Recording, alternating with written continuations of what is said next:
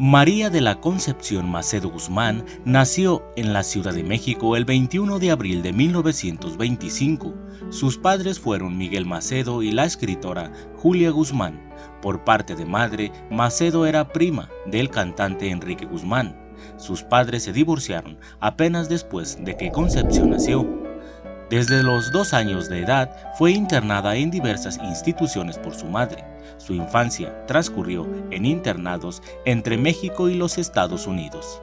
Su relación con su madre fue fría y distante y con su padre fue prácticamente inexistente, lo que la convirtió en una niña tímida y retraída. Cursó los estudios de secundaria en el Colegio Williams y el Colegio Francés de la Ciudad de México. En 1941, el director de cine Mauricio de la Serna compró los derechos de la novela Divorciadas, de la autoría de su madre.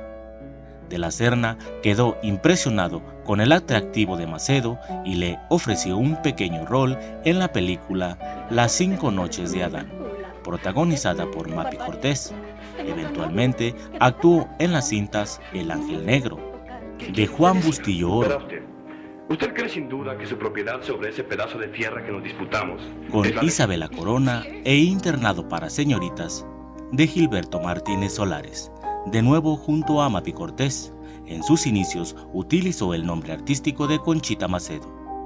En 1943, Macedo es elegida como ganadora del concurso Wampas Baby Stars, que era promovido por Hollywood buscando talentos en México. Gracias a su triunfo, en el certamen de las Guampas, en 1945 se reincorpora a su carrera cinematográfica.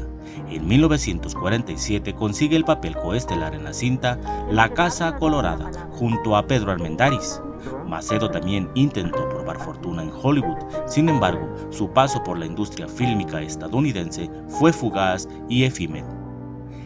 En ese mismo año trabaja con Joaquín Pardavé y Sara García en la cinta cómica El Ropavejero. En 1947 Macedo es elegida por el director Julio Bracho para estelarizar la película Rosenda.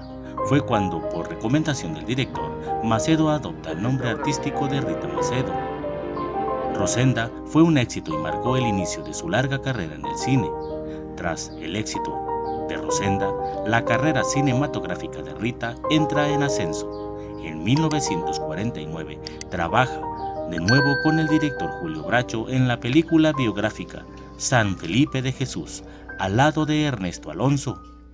En ese mismo año trabaja a las órdenes de Emilio el Indio Fernández en Duelo en las Montañas, junto a Fernando Fernández.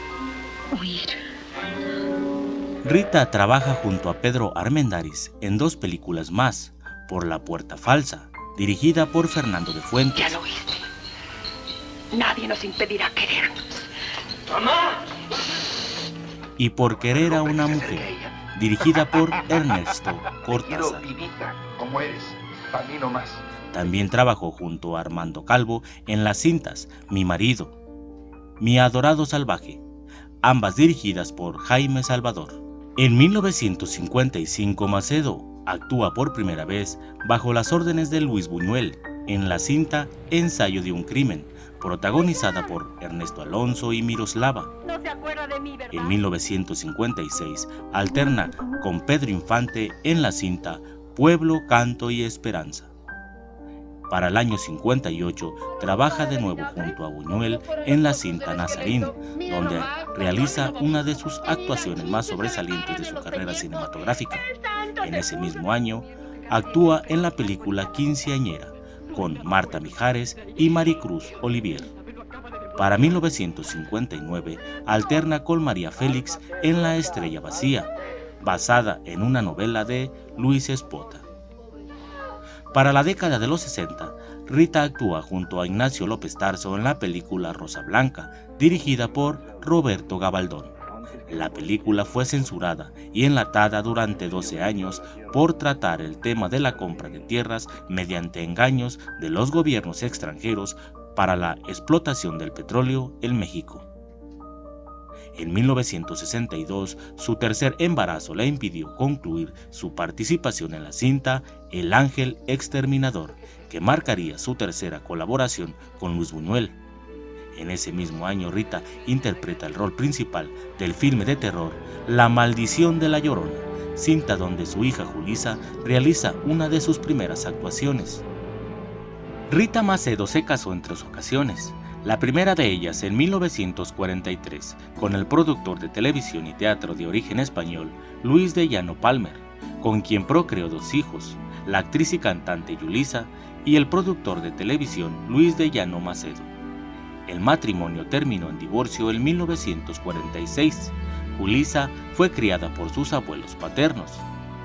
Su segundo matrimonio fue con el aristócrata Pablo Palomino. Sin embargo, el matrimonio concluyó poco después en medio de violencia y maltratos. Su tercer matrimonio, en 1957, fue con el escritor Carlos Fuentes, con quien procreó una hija, la escritora Celia Fuentes.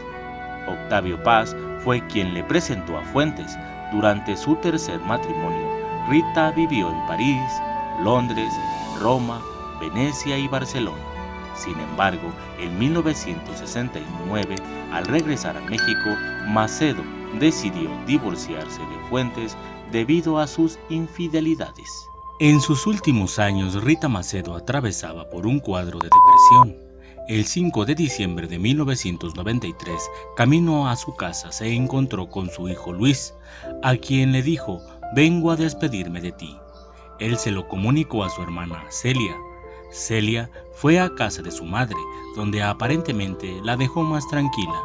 Posteriormente, Macedo atentó contra su vida al autodispararse en la boca con un arma de fuego. Su cuerpo quedó en su automóvil ubicado en su casa en la calle Galeana, en la colonia San Ángel de la Ciudad de México.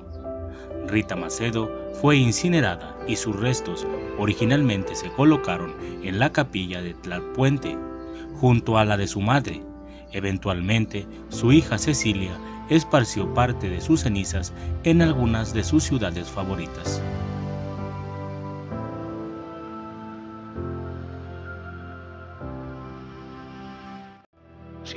Necesitara, te lo. El tequila lo trae de alguna cantina fuera del rumbo este.